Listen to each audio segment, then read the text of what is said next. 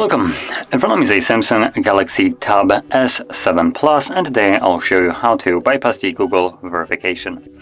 Now obviously you can see that the tablet in front of me is locked and to actually bypass this I would need to provide the pattern that was previously set or I would have to use the Google account that was previously logged in. Now assuming I don't know either of those, um, we can just bypass this. Now it's not going to be as simple as just saying bypass uh, because we're going to need a couple different things. Um, so most important part that we will need is another Samsung device. That can be a phone, a tablet, it doesn't really matter. It uh, does need to have a One UI, I believe, just so it can uh, download the Smart Switch app. Now, the Smart Switch app will be a requirement here uh, on a Samsung, and the reason why we need Samsung is because that app is only accessible on those devices. And the reason why we need that app is because it allows us to basically transfer the Google account that you can log into the unlocked device and basically copy it over to here, overwriting the old account. That is basically the simplified version of this.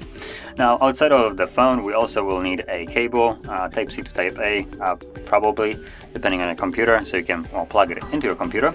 And then additionally, um, you can also use a Type-C to Type-C cable, as I have one right over here. As you, as you can see, both ends are the same. Uh, those cables usually come provided with the newer Samsung devices, so you can, there's a chance that you already have it.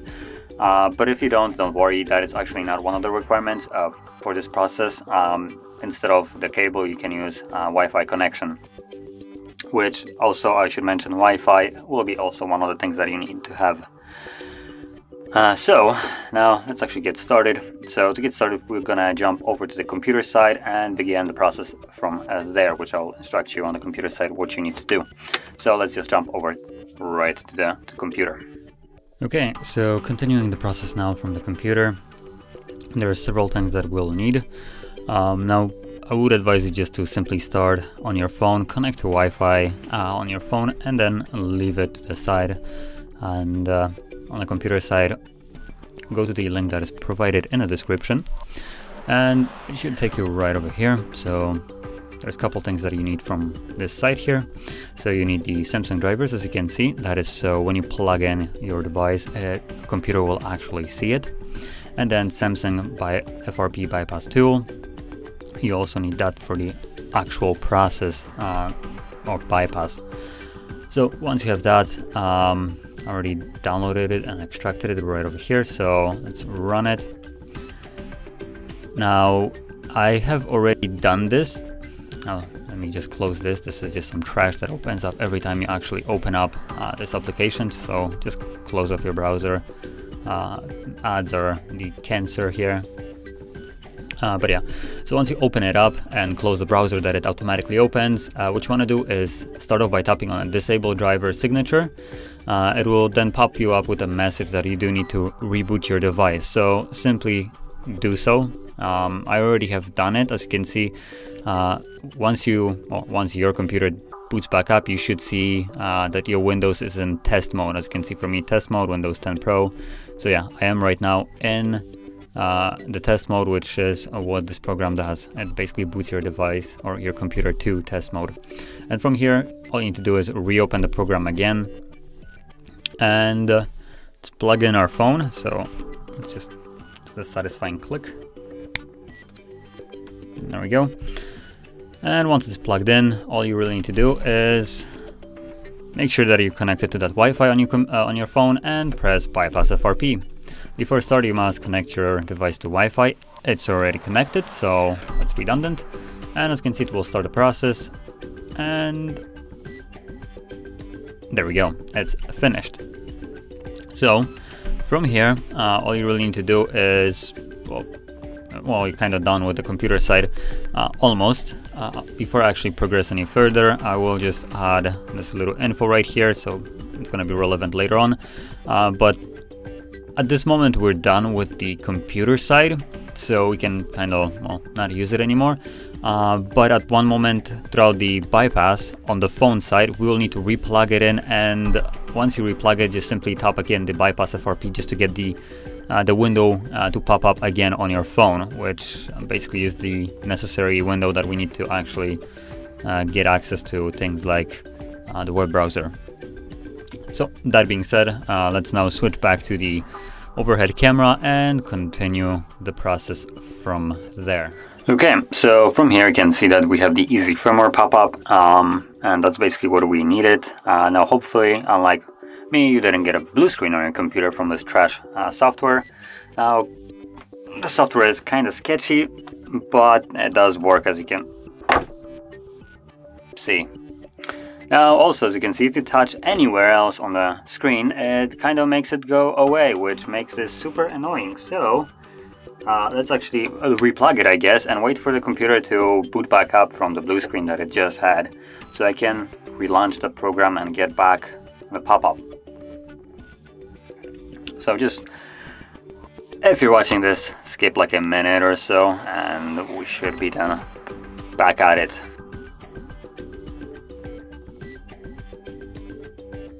So there we go, we got the pop-up back up and we can actually just progress again. Um, so I'm gonna start off by tapping on view just so I don't misclick anywhere and close this off. And from here, as you can see, it automatically opens up our web browser. Now also you can unplug the device just as I did. So from here, tap on accept and continue and no thanks. And right here in the search bar, you wanna type in hard reset that info slash bypass.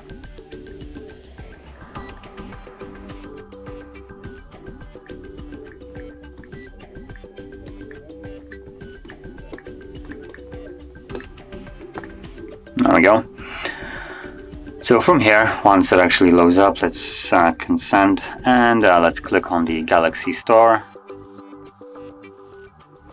This will link, well, link us to the actual Samsung website.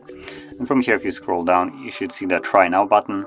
This will take us to the Galaxy Store. So from here, let's tap on Continue and Update. We do need to update our uh, Galaxy Store. And once it's done updating, it takes us back to the Samsung website. So again, click on the try now. And from here, choose the search option right over here. And you can see in the well, suggested options, Smart Switch Mobile, as you can see right over here. Then click on it. If you don't, then simply type it in. And from here, once it shows us the results, you see it should be right at the top. So click on the download right here. This will download it and install it now while this is downloading and installing, you can also get our other device, um, the unlocked one, that you will be using for this process and also go to the store, the Galaxy Store, update it and uh, well, download it the same way you did it right here. It's gonna look the same. Once you try to launch it, it will bring up the pop-up to update it. Oops. To update it and from there again download the smart switch once you search for it and launch it. Now I have already downloaded it uh, so I, well, as you can see, I have it. Um, and also right here, it's also downloaded, so let's launch it. Continue and allow. Okay, so also once you open it up, you will see a bunch of different options. So what you want to do here is select that you want to receive data uh, on this tablet, and you're going to be receiving it from Galaxy Android. And you're going to be doing it over cable, uh, assuming you're going to be using a cable. If you're not, if you're going to be going with the uh, Wi-Fi, then simply select Wi-Fi on both of the devices. Now, on this device, once you download the Smart Switch app, make sure in the settings that you do have a account added. So we can scroll down to account and backup, tap on manage accounts, and you should see one right over here. Now, if you don't see an account, then just simply tap on add account, choose Google or whatever, log in, and there we go. So you do need to have that account because otherwise uh, this process won't work. Uh, the reason why we need it is because we're gonna be moving it over. So from here, let's go into the Smart Switch app. Oh, there it is. And on this device, we're gonna select that we're gonna be sending data and we're gonna be sending it over a cable. And now let's get that cable. Assuming you haven't chosen the Wi-Fi route, you selected the Wi-Fi then just go click on the Wi-Fi and go with the on-screen instructions. The reason why I'm using a cable it is because cable route is faster um, so connecting it it uses the cable and everything works I would say flawlessly Now from here, once you connect those two devices, as you can see there's a pop-up automatically appearing, so let's stop on allow. And here as well allow, and what this will do is the tablet will start reading all the data that is on the unlocked device. So give it a moment, and once it's finished, you should see all the things that we can copy from this phone to the tablet listed right here. Uh, so start off by actually clicking on the check mark right here and disabling all of them. Because all we really need is the accounts right over here, settings and home. So there we go. As you can see, there's only three different things selected, three selected, accounts, settings, home, screen. Scroll down, tap on transfer, and this will begin the process almost. So let me unlock it. Um, as you can see, once you try to transfer, it brings up this pop-up right here asking you if you want to copy your Google account. Obviously, we do want to copy it, so let's select that. And this will bring it up right over here. There we go. For us to actually log in with that account. Now I'm to obviously move it off the screen and log in. There we go. So once you log in, it automatically begins the process. Keep it, keep screen on, and there we go, as well here. So now it's going to be transferring the three different things that we have selected, uh, approximately a minute. I think it's a little bit quicker than a minute, so I'll just give it a couple seconds and it should be finished.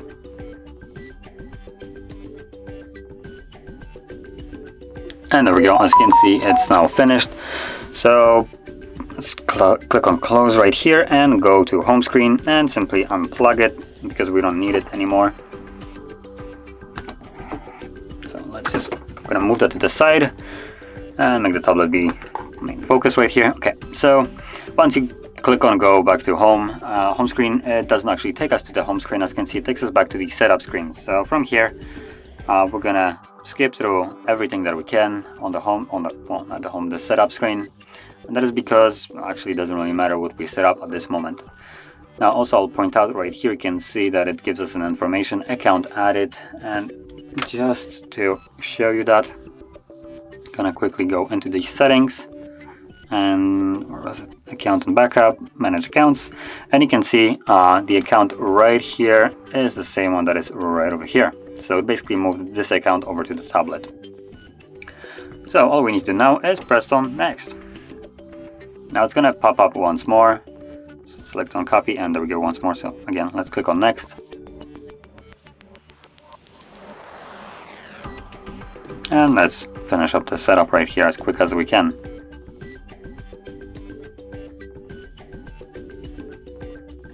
So as you can see, we are done with the setup. Once you actually see the icons, what you want to do is go into the settings. So pull up and let's open up settings, scroll down to general management, reset, factory data reset, and then select reset and delete all. Now what this will do is basically remove all the data from the device including Google accounts both of them, so the one that we have added along with the old one that was uh, on this device and actually still is. So this will go through the factory reset unfortunately, which means that it will take several minutes for it to actually finish and will also bring us back to the setup screen. But basically once it's finished, we can then go through the setup as however you like. The device will be fully unlocked at that point. So I'll be back once the reset has been completed.